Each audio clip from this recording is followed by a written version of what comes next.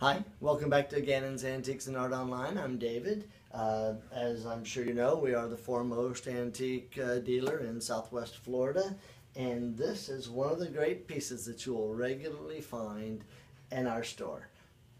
This won't be around long unless you're going to be here soon. You probably won't see this, but you will find things of this caliber every day here.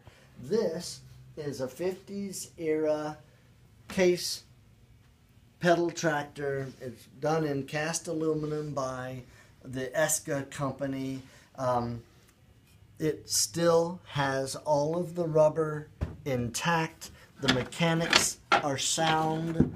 Uh, it has been repainted. There's been some welding repair, but the important things like the rubber, the rubber on the crank pedals, even the cover on the shifter, they're all intact. They're all here. This needs a little uh, restoration work by someone who's going to love it, but it's a very neat piece.